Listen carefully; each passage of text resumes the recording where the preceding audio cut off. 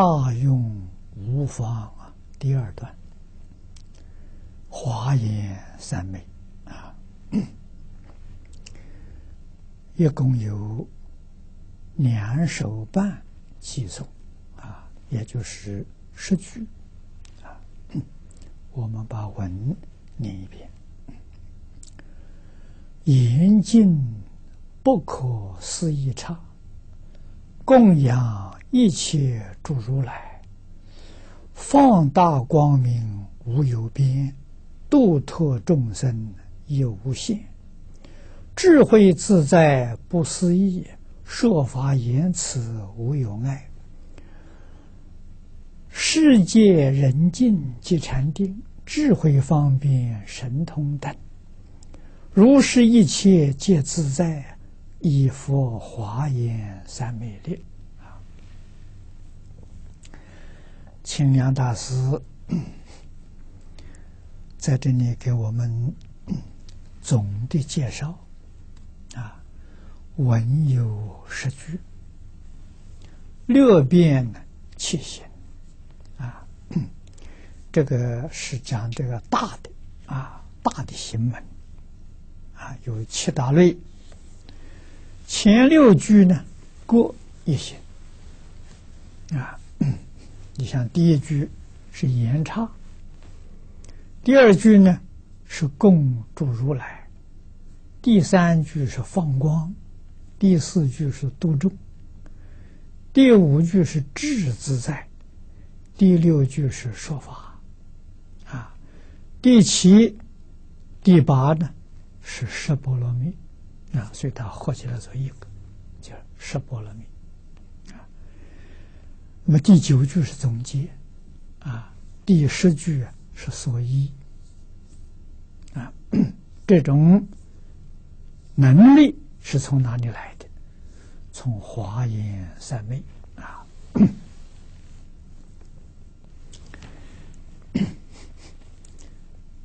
这个。文艺深广无量！你看第一句“严禁不可思议差”，差是道场啊，不可思议差了。这是佛差啊，也就是说，佛的道场。我们这个地方呢，也是一个佛道场。那么，在凡人看起来啊，规模很小啊。尤其是印光大师，他老人家。教导我们，在现前这个时代啊，建道场必须要知道时节因缘呐。那个道场不要建的太大，注重啊也不要太多。就是他告诉我们。最好不超过二十个人，啊，小道场，啊，那么这个小道场是不是不可思议差呢？是的，只要有前面两个字就行了，严静，啊，严怎么讲呢？庄严，静是清净。清净就是庄严，是真的庄严，是不可思议的庄严啊！如果见得美轮美奂呢，这个豪华的宫殿。如果注重心不清净呢，这个不是庄严啊。所以佛法里面的庄严呢，是清净心、清净身、清净语，三业清净的这个道场，不可思议的佛刹。这个意思，我们一定要懂。那么这就说明，插图要重实质，不重形式。印祖告诉我们的，好像是小道场啊。我们现在这个道场呢，啊，符合。印光大师的教诲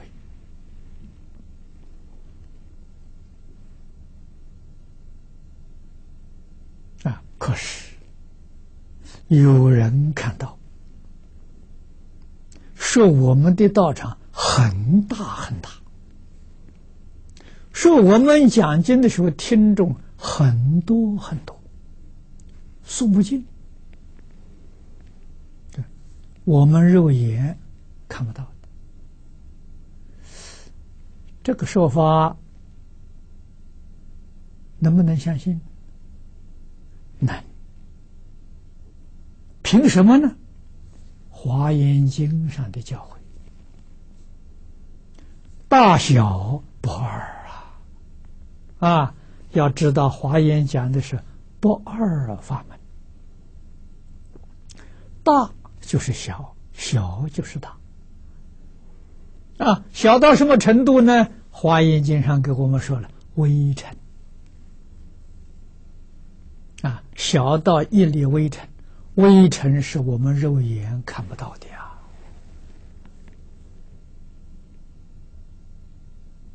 大乘教里面所说的啊，啊，那么现在科学啊，微观世界。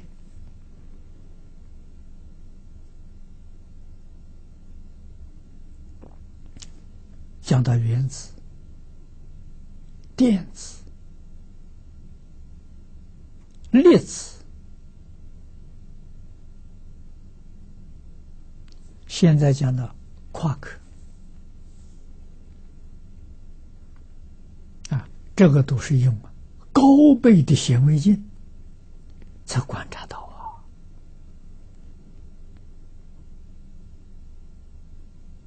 啊，啊是不是佛经上讲的微尘呢？还很难说。啊，佛经上所讲的微尘，阿罗汉的天眼都看不到。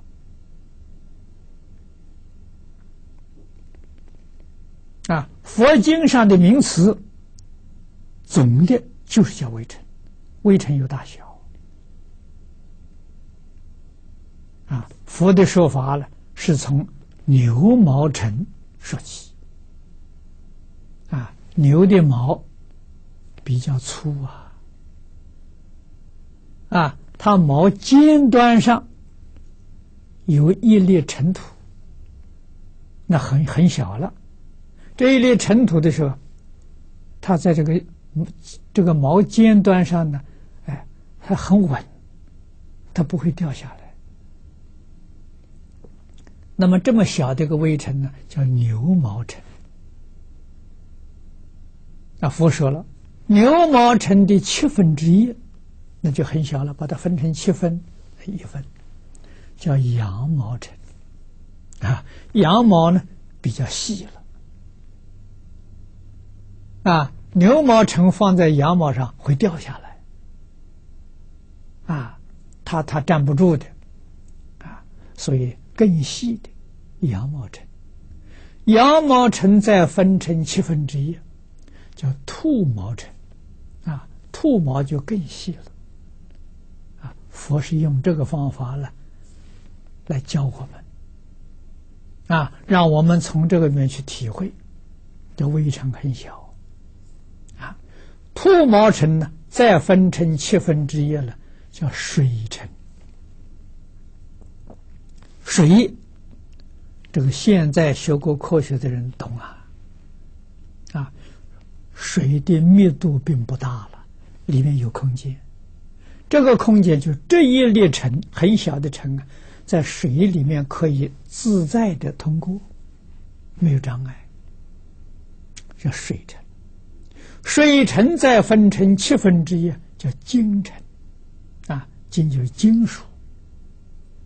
啊，我们知道金属的密度比水的密度大，但是还有空隙。啊，它能够在金属那个空隙里面呢，也能够自由的活动。啊，这些科学家都有明显的告诉我们。啊，金尘呢还能分。再分七分之一，叫做微尘啊，叫微尘啊。佛说，阿罗汉的天眼能看到这个微尘，不要用显微镜了！啊这前面我们说过。啊本能，可是比这个更小的呢？阿罗汉见不到了。佛说，这个微尘呢还能分，再分七分之一了，叫色居即位。菩萨能见到啊，色居即位还能分，再分成七分之一，叫即位之位。佛说：“这就不能再分了，再分就没有了。所以也叫灵虚尘，啊，跟这个虚空啊做了邻居了，它不能再分，再分就没有了。啊，这是最小的了。那么现在科学家发现的夸克，是不是极微之微很难讲。啊，极微之微呀，地上菩萨就看到了。”啊，登地的菩萨，啊，那标准的讲法是八地菩萨，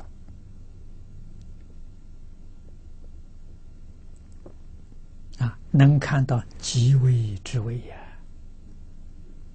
啊，那现在这个讯息，科学家了给了我们了，啊，但是科学家说没办法见到。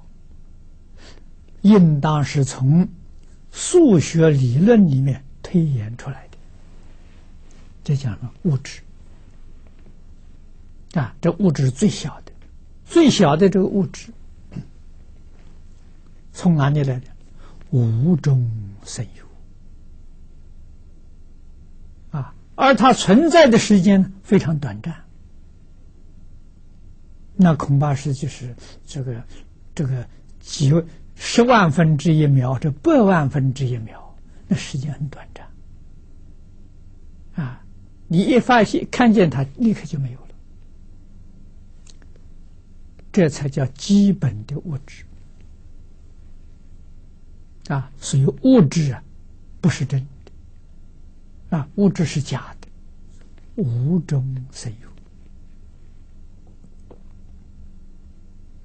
那么科学家。不承认物质存在，承认宇宙之间只有场，没有物质。啊，场是什么？能量。啊，能量稀薄的时候，称之为场；能量呢，聚集的时候，它变成物质。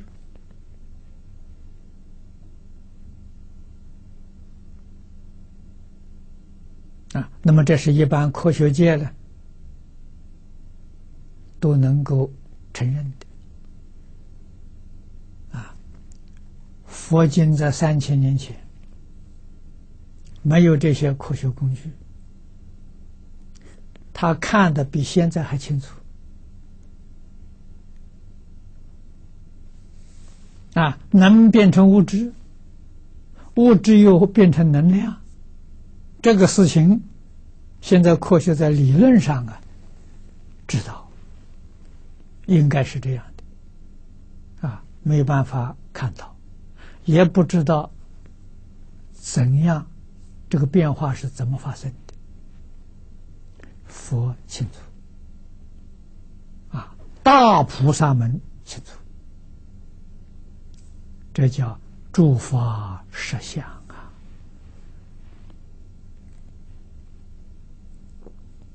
啊，所以。这个插图啊，无论是人间，无论是天上。啊，那在我们想象当中，设法界都有插图啊，这是设法界的众生啊，与诸佛如来都有感应道交。啊，连地狱众生都不例外。如果众生没有感应，地藏王菩萨怎么会到地狱呢？不可能呐！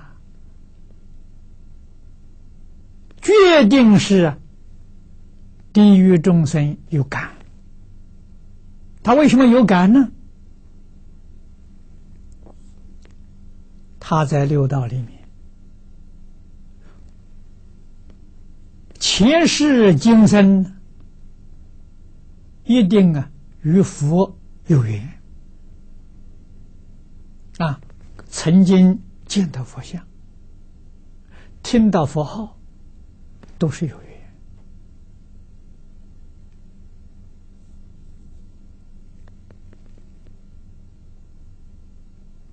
阿赖耶识里面有佛的种子啊。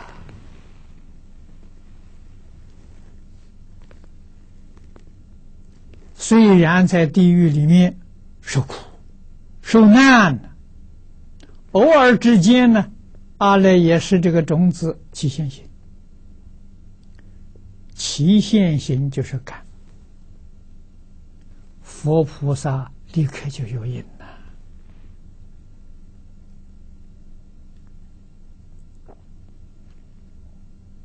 了。啊，应声在地狱。总的来讲呢，都叫地藏王菩萨。地藏王菩萨不是一个人，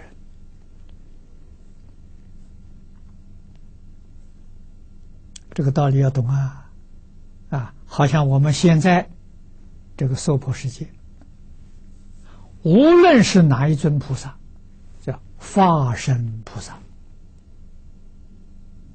啊，无论是哪一尊佛。到我们这个世间来实现，做种种实现，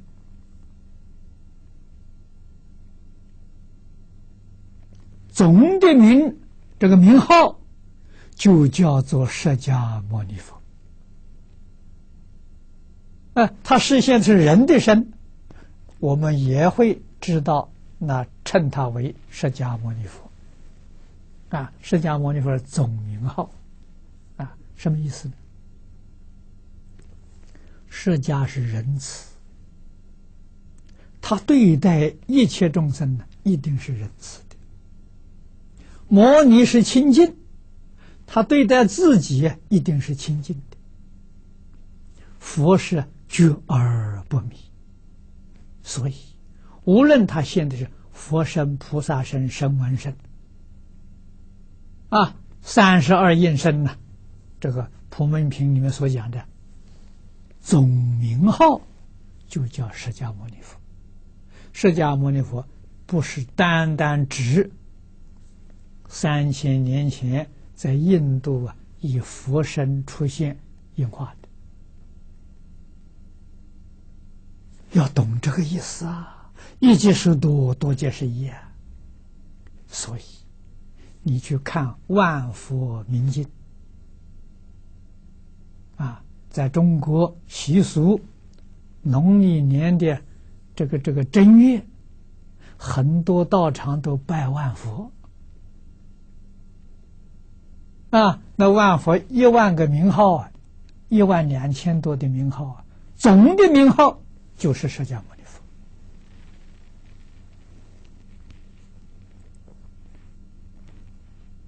这个意思要懂啊。啊，那么如果说是这个化身菩萨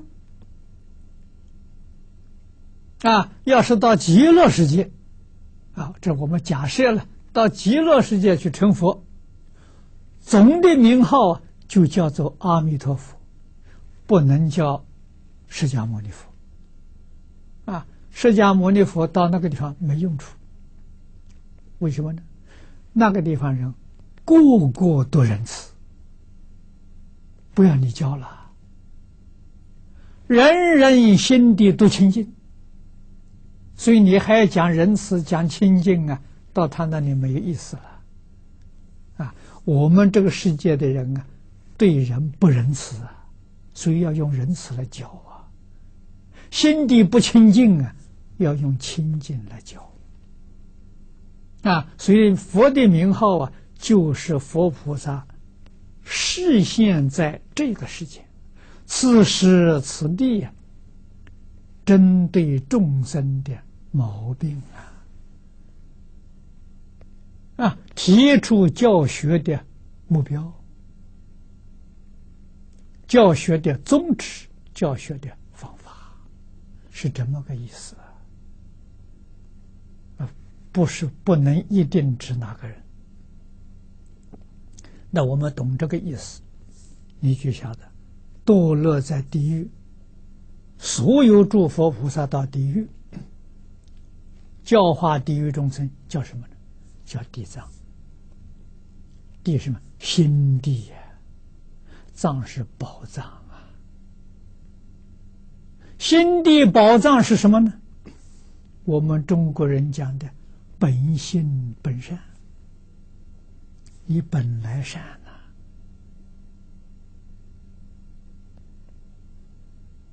呐，啊，那你做人的时候不善，不善不是你的本性，是你的习性。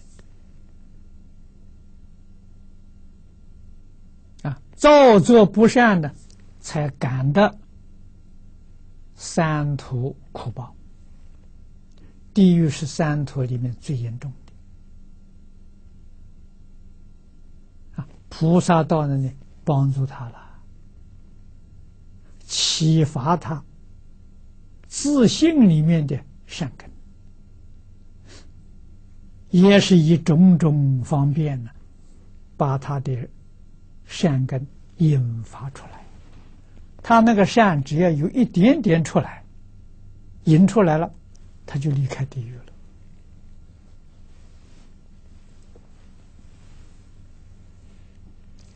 在佛法里面讲，忏悔业障啊，他就离开了啊。所以地藏菩萨是总名称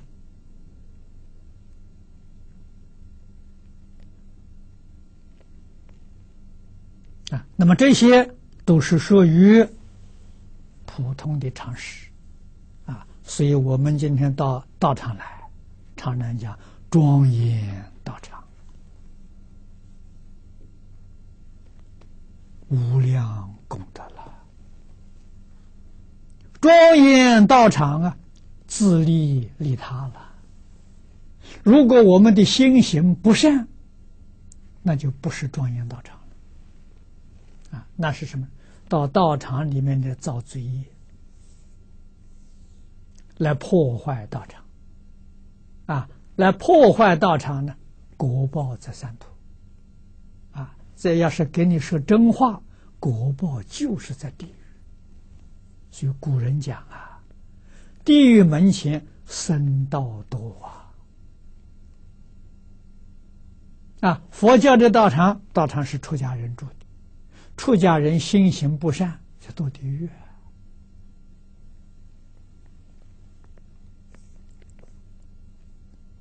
啊。那么大家都念佛求生西方极乐世界，西方极乐世界不是容易去的。怎样才能去呢？严禁就能去了。啊，什么叫庄严？什么叫清净？我跟大家讲的很浅，讲的很踏实。十善业道啊，十善业道前面七条是严庄严，后面三条是清净。啊，你看前面的七条。第一个，不杀生，不偷盗，不淫欲，不妄语，不两舌，不绮语，不恶口，这是庄严。我们用什么来庄严道场？用这个清净什么呢？心里面不贪、不嗔、不痴，这是净。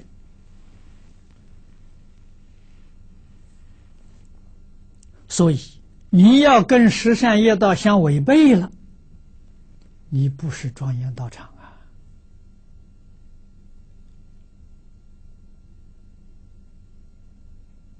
你是在染污道场啊！不是我道场装潢的很很很很啊很华丽呀！啊，佛经佛像贴金没有用啊！你心地不清净。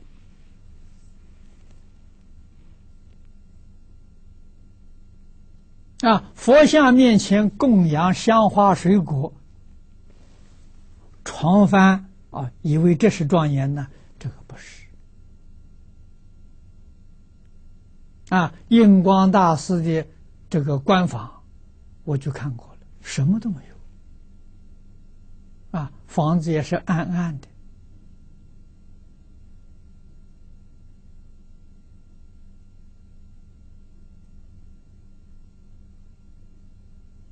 啊，只有一盏电灯，我看那个电灯并不很亮，啊，可能那个光度只是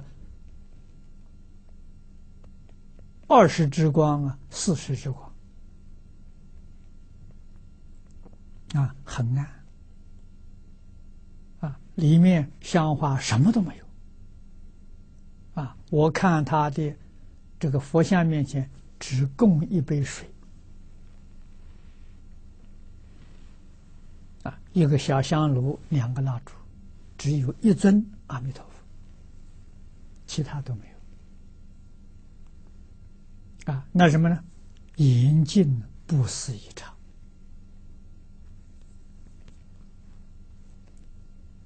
印光大师十善业道圆满了，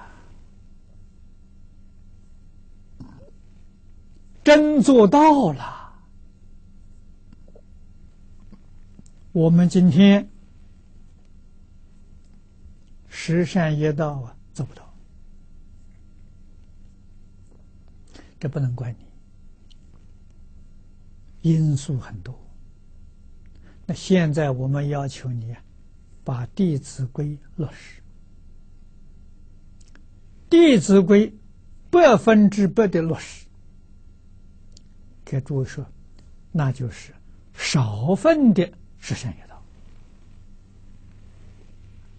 十善业道啊，你做到了，应该有十之三四啊，十分里面你做到了三四分啊，也算得上清净庄严啊。这个清净庄严呢，要向学校打分数。百分之百做到，可以达到及格六十分，不高六十分。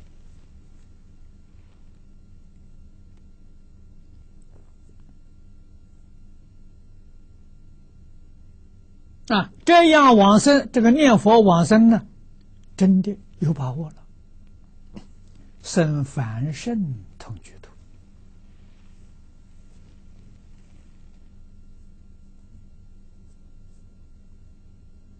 有把握。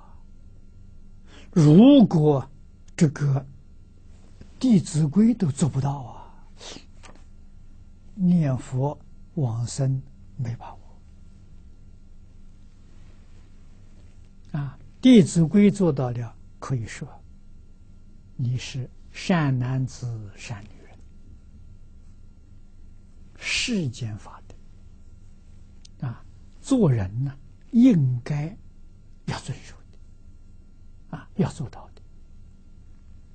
你连这个都做不到了，你不是善男子、善女人。这个经本一打开，你看佛常常叫善男子、善女人。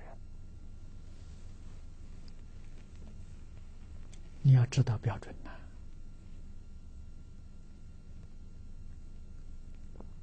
那么在提升，要学因果教育啊！诸位要知道啊，《弟子规》是伦理教育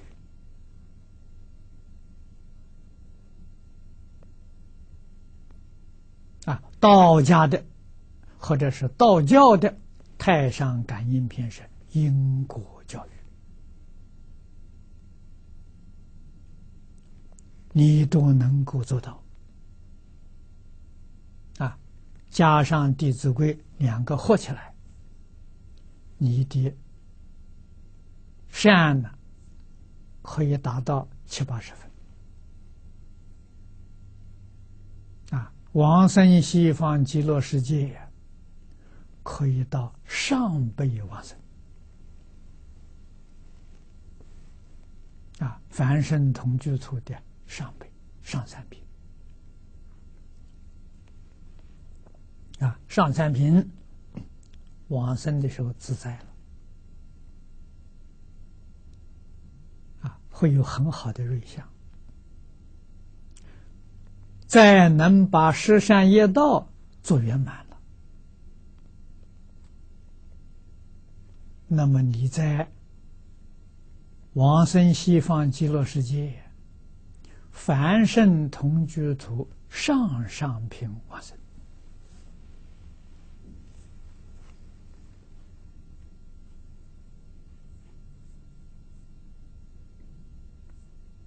这个要知道啊，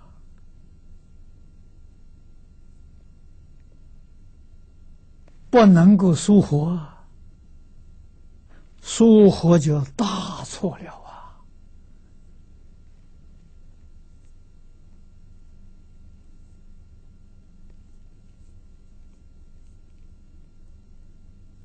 啊，啊那么十善里面，第一个不杀生，不杀生的意思很深。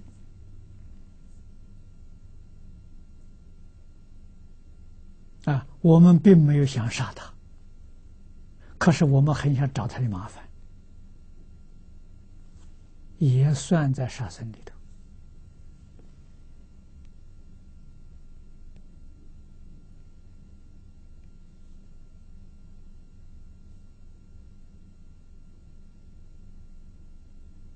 啊，那么他找我的麻烦，我有报复的念头，报复也在杀生里面，那怎么办？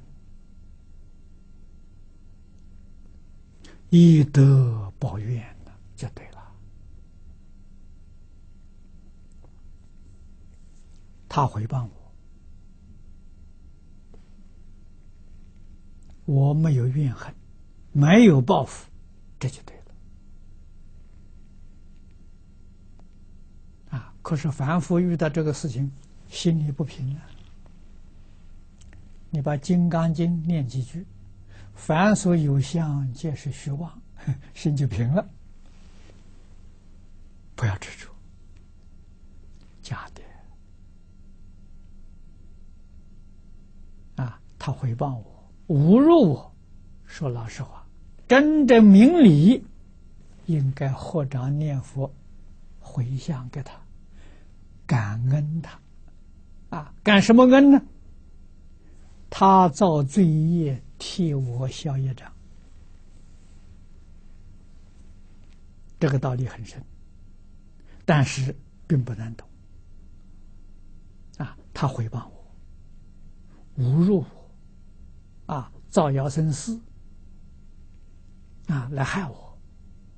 这是他造罪业啊！那那我受冤枉，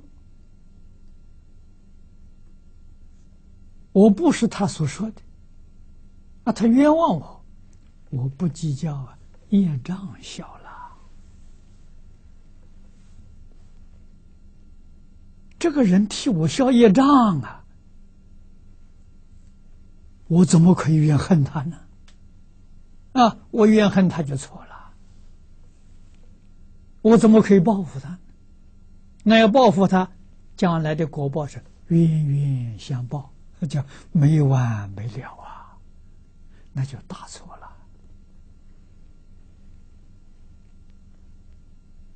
啊！这些道理，稍稍切入佛法，你就恍然大悟。啊所以我们遭受种种冤枉、侮辱、陷害，不感恩啊！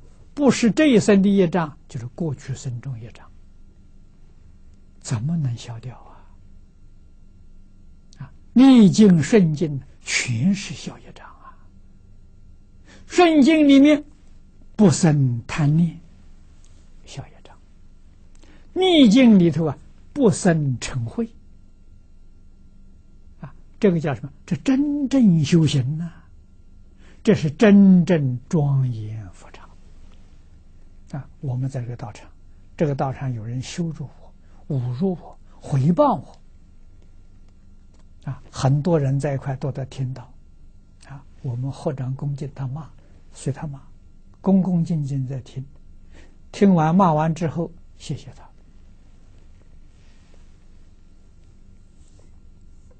决定没有依据啊，回驳的啊！你说错了，我不是这样，不必用不着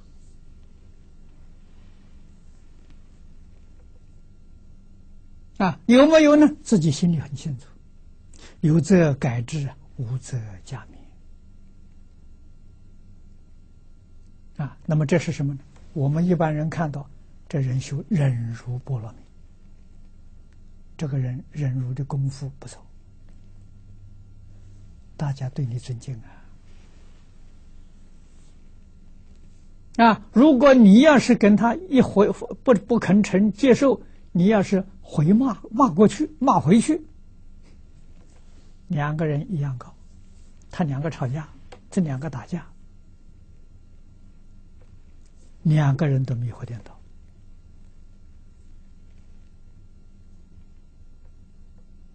啊，迷跟迷才起冲突，迷跟觉不会起冲突。啊，觉跟觉不起冲突，觉跟迷起不了冲突。啊，为什么呢？觉悟的人让，忍让。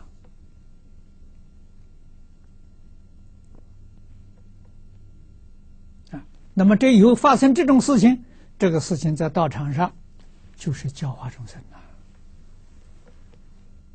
他们两个在演戏，在表演呢，一个演正派，一个演反派啊，演的都很逼真呐。哎，大众受利，鬼神受利，都在那里看呢，都在那里学啊，不善的，我们不能学他。要反省自己有没有，有则改之，无则加勉。啊，那个忍辱的、善的，一定要有。佛菩萨在哪里？到处都是，无论在什么地方，啊，真的是无量无边的。啊，哪个地方是不思一刹呢？处处都是。他是道场啊！修行人，我不说佛菩萨，说修行人，真正修行人所在之处，全是不思议场，成就你不思议的功德，成就你不思议的智慧，成就你不思议的德能，你知道吗？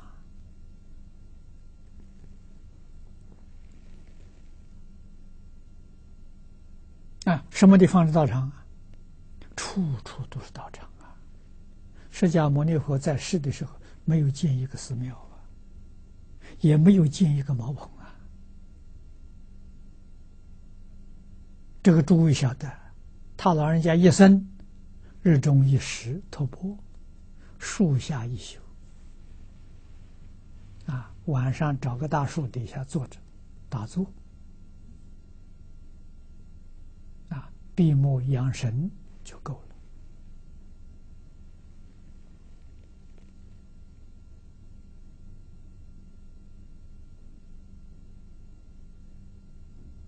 了啊！就是差的真正的意思，你就懂得了。在这个地方修行，修不思议法门，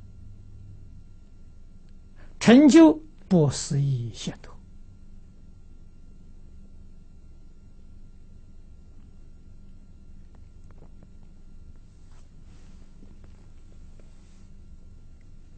我们要会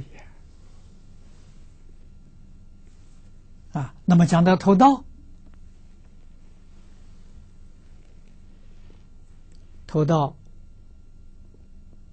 在戒经里面定义是不逾取啊，这个财物是有主的啊，主人没有给我。我随便就把它取得，的偷盗。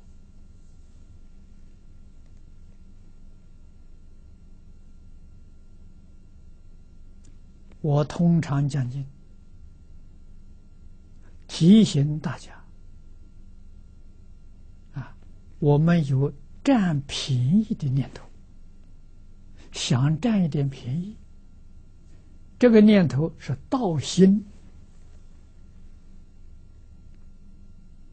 啊，他这个道心在增长，就有偷盗的行为。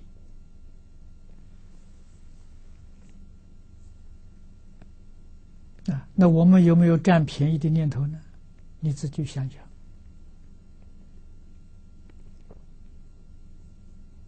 最明显的纳税，啊，找个好律师谈谈，能不能少交一点税？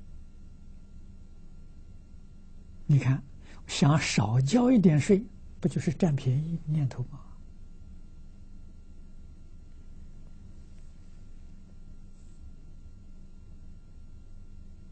漏税、偷税，啊，钻法律的漏洞，少交一点税，这个这是偷盗国家的财物，这个最重！你偷一个人的，你将来还的时候还一个人；你要偷到国家的，这个事情可麻烦了。那中国尤其不得了，为什么呢？中国有十三亿人口，十三亿人都是你的债主，你的麻烦可大了。你哪一辈子才能还得清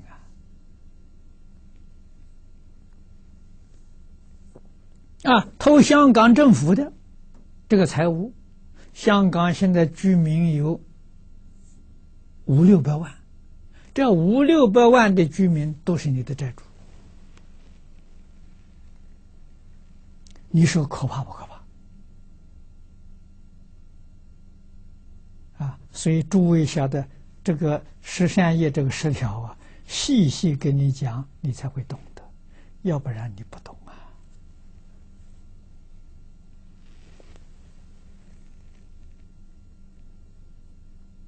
所以，我们要把损害别人的念头断掉，才真正做到了不杀生；把占别人的便宜的念头断掉了，才真正做到啊不偷盗，很不容易啊。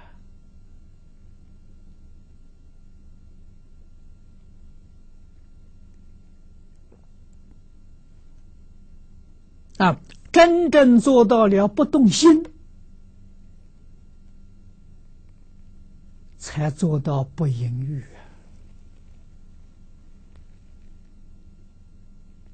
啊！不妄语是真诚，决定没有一丝毫欺骗别人的念头。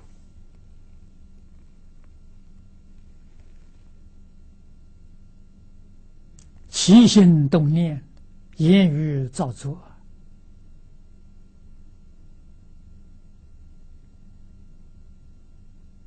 没有不可以告人的啊！还有保密，不能告人。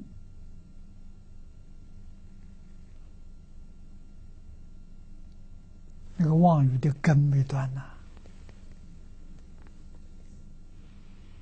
啊，在中国历史上。司马光一生光明磊落，他跟人说：“我一生做事行事，没有一桩事情不能告诉别人的。”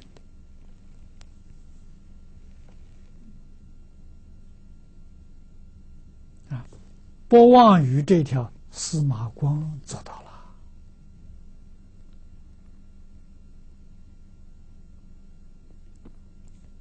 啊。我们还有话不可以给别人讲的，要保密的。保密就是妄语的根啊！我们不要说诸佛菩萨，讲到阿罗汉，是讲到须陀洹就没有了，没有秘密。啊，我们中国人讲表里一如，言行一致啊！啊，两舌是挑拨是非，决定没有啊！你的心跟一切人事物没有对立人家跟我对立，我不跟人家对立，他就对不起来。对立一定是双方的，啊，一方面想建立个，另一方面没有，就对立不起来。所以化解对立、化解冲突，从哪里做起？从我们自己本身做起，就真产生效果了。啊，时时刻刻就防人，防人是对立。啊，虽然你不侵犯别人，你的对立没有化解。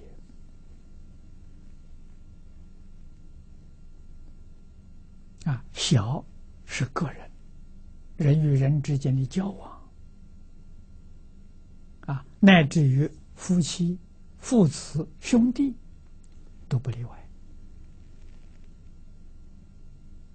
啊，大呢？这个大到国家，啊，国与国之交往，啊，现在讲到世界上许许多多的冲突，啊，国家的冲突、族群的冲突、宗教的冲突，从哪里起来的？没有化解对立了，不是让别人化解，别人是永远不会化解的，从自己化解，自己化解了。别人不能成立，这才是解决之道啊！啊，化解冲突之道啊！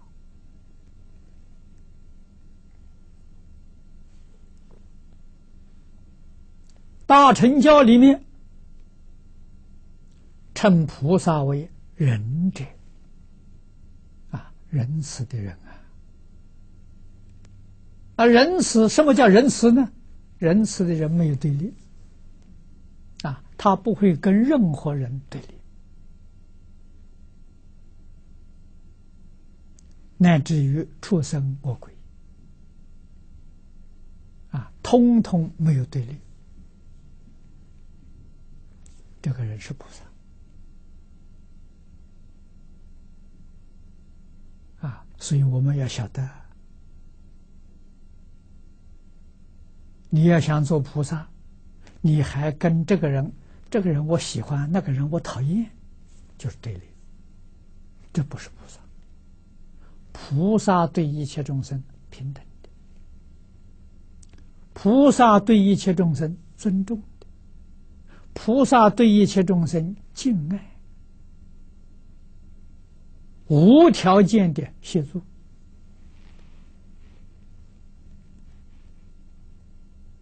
啊心地清净，一尘不染，这叫庄严清净。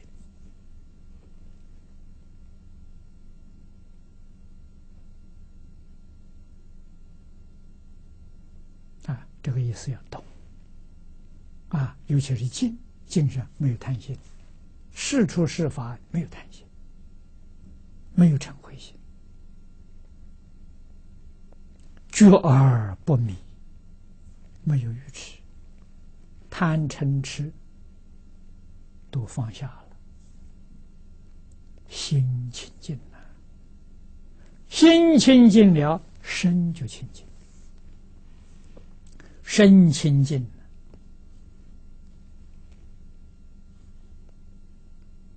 百病不生。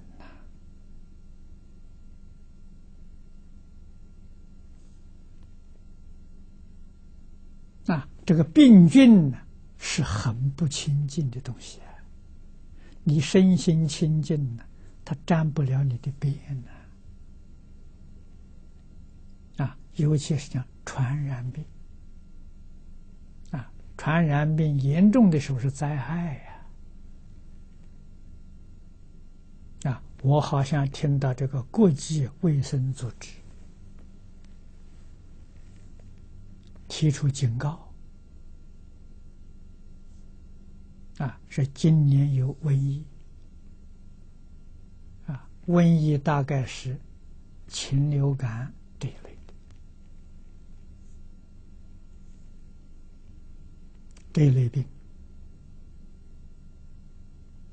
啊，预估会死好几千人。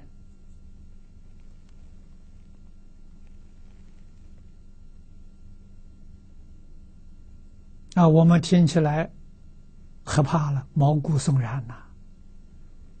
啊，要怎样预防呢？严禁就行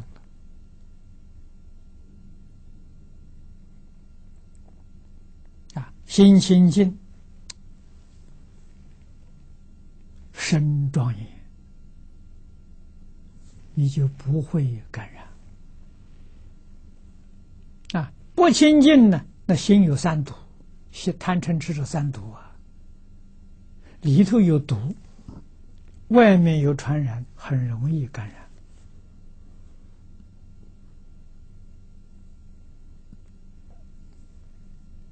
啊，纵然有病，不用恐惧，也不用害怕，修清净心。把你身上带着病的那些细胞，自自然然恢复正常，你的病就好了，就没有了。啊，要知道，这一些带着病的这些细胞，是自己不善的念头、不善的业产生的变化。你明白这个道理呀，你自己可以调整了。啊，药物是补助，真正治好的是心态。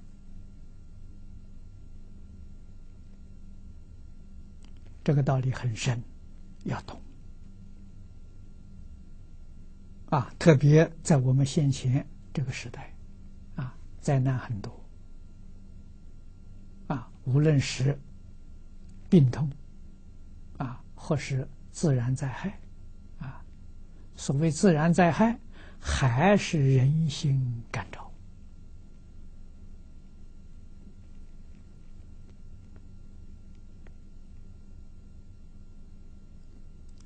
离开心性，无有一法可得。世尊在大乘教里头常说。